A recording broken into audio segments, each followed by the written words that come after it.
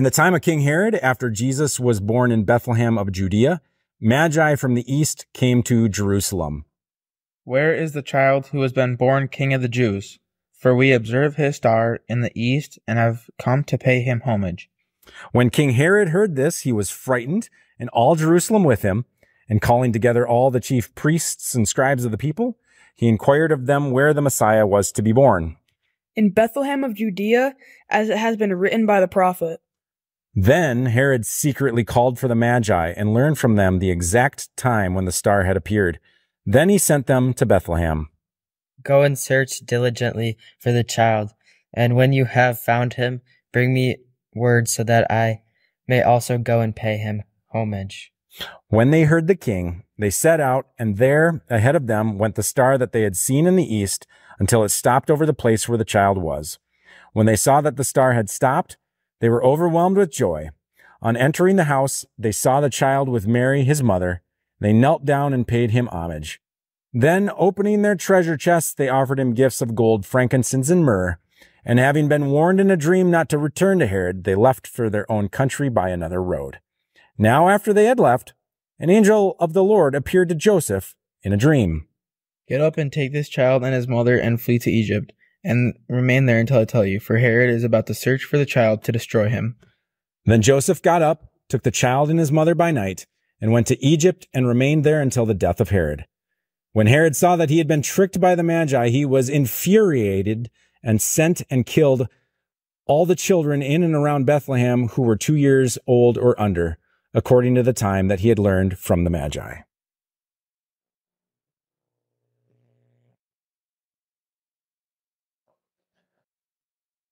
Grace and peace to you, my brothers and sisters in Christ. Well, as the decorations are out and Advent is in full swing, Christmas is only a few weeks away, and yet I present you an Epiphany story. Here, though, we continue to these stories about the Nativity and the scene that is set before us uh, gets us to start rethinking and maybe imagining beyond the usual suspects of the people who appear at the Nativity scene. So today's journey is definitely unique. We lift up someone that we typically don't talk about. Last week, we focused on Elizabeth and her response to the news, how the family line with Mary uh, brought this special closeness to her, and having this baby of her own, she was with Mary in spirit. And then, of course, today we move to this story of the Magi, the wise men. And yes, it feels out of place. It's too soon. These visitors don't arrive until the 12th day of Christmas, typically. And I know what 28% of you are thinking no Christmas songs until Christmas. And it's way too soon to be talking about the wise men and the Magi. And you'd be right. I get it. They don't belong here. Not yet. But the presence of Herod in this story is definitely something that I think is worthy of taking note. How did the people feel about Herod? Herod the Great wasn't so great. Herod was also the king of the Jews. And it was a title that was assigned to him not by the Jewish leaders, but by the Roman Empire. So when we think about Herod the Great, he wasn't anointed like Samuel anointing Saul or David. In fact, Herod's, uh, Herod's dad was converted, and his, his lineage was of Arab descent. His position was obtained through friendship and loyalty to Mark Antony, uh, not through the Jewish leaders and rising up through the ranks by any means. He wasn't a devout Jew who was obedient to all of the religious practices. Instead, he had Greek influences and he was looking to modernize the people, take them into this enlightened part of the modern world. Herod would be seen, I would say, as someone very favorable to the religious elite at the time. He wasn't getting in their way. He was much like em- uh, Emperor Constantine would be 300 years later when Christianity was starting to emerge uh, and be able to come out into the light. Herod did have a reputation, as the kids found out today. He had a reputation for killing those who threatened his power. He doesn't appear to have any uh, mass genocides, but he certainly does take out and kill people, uh, especially in his own family.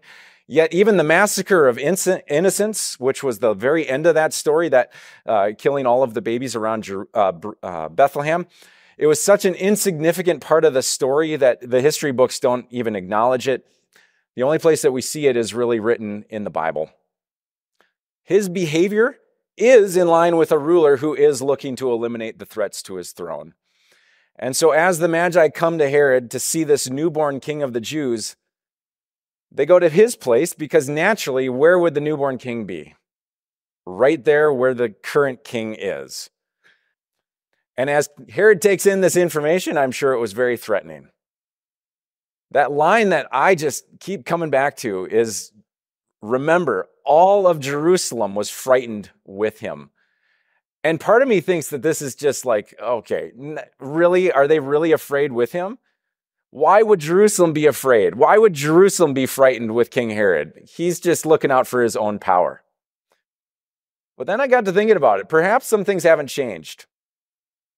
If you're a person living in Jerusalem and someone's coming after his power, innocent people might be killed. What would the rest of Jerusalem be frightened of? Perhaps a revolt, a coup. People get frightened by political instability. And isn't that exactly what the people wanted in the first place? Yeah, they wanted a Messiah. They wanted a Messiah to lead a revolt. But they wanted that against the Roman Empire, the occupying force, not against their actual current king, who, in many ways, if you were living in Jerusalem, kind of had some nice added benefits for you. There were some perks for having a king who was doing well with the empire, but also looking out for his people. Maybe Herod is great. If I can get you to walk out of here thinking that by the end of the day, well, all right, Herod, I'll make my case for you, okay? Herod was pretty successful. He provided for his people.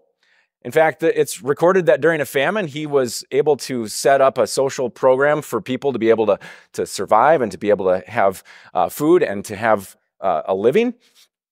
Herod's famous for building the second temple. And let's be honest, this is a pretty huge deal. Who wanted to build the first temple? Well, it's King David. He wanted to build the first temple. Who did build the first temple? His son Solomon.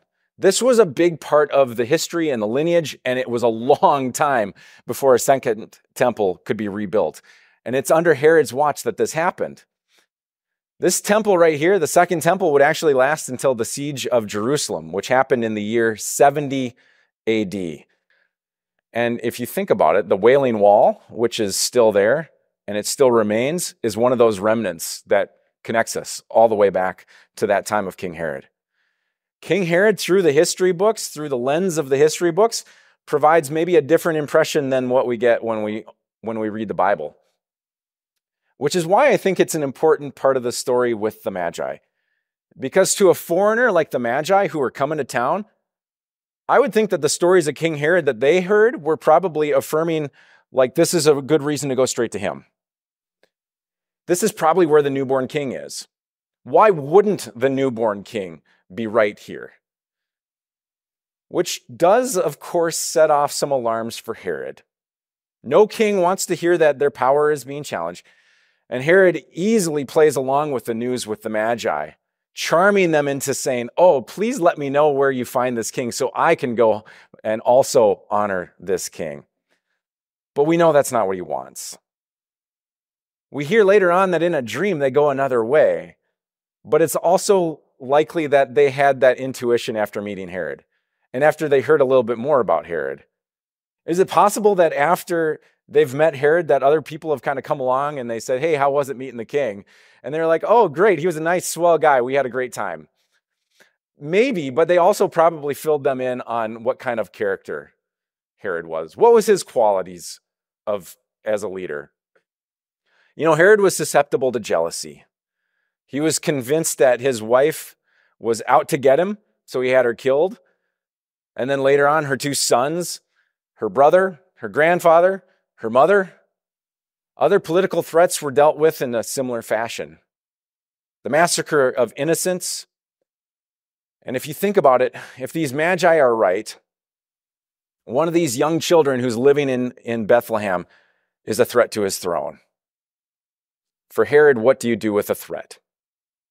You eliminate it. even if it was the people that he loved. Rarely do we talk about King Herod other than to acknowledge his desire to kill Jesus. And that's usually enough information, it is for me, to form an opinion about him and to think, okay, we can disregard him. He doesn't really have anything else that we need. It's a corrupt, sinful world that Jesus is born into. Were Herod's motives pure? No, of course not. Yet, Herod's factoring into this story is important. In her book, An Unlikely Advent, the author, Rachel Billups, suggests that we all have a little Herod inside of us. That's really hard to hear. I don't want to think about that. Now, this isn't to suggest that we would all do horrible, atrocious things like King Herod does, but to think about the temptations of sin in this world that do grab a hold of us and influence us. I know what je- jealousy feels like. We all know what it feels like to be greedy, to covet, to, de- to have that desire for something or someone. We all know what it feels like to judge someone based solely on their looks. When we get pushed around, what do we do? To be honest with you, in my life, I've been poked and provoked a few times. And rarely, when that happens, do I have a really great response that I'm proud of. Often, when I do get provoked, I match that level of behavior, either through words or my actions, instead of taking the high road. So, this is Advent. This is the time of waiting. What are we waiting for? We are waiting for the birth of a Savior because we keep falling short of God's expectations. We keep giving in to temptations. We keep messing up. And we know that we can't be righteous. We can't have it all figured out on our own. We need Jesus. These foreign men, these magi who've come from afar, perhaps the greatest gift that they share with us is this gift of self awareness. Once they realize Herod can't be trusted, they move on. They go home a different way. They tell Mary and Joseph, maybe you can't trust King Herod. You might be in danger too. And then Joseph's dream affirms that. In our self awareness, think about our own intuitions. Our intuition, it's an important relationship that we have with God. God is communicating to us through dreams, through prayer, through our gut, through the silence, and sometimes even through the chaos. So, this Advent message today is to trust that God is with us. Trust that we will overcome the challenges that face us.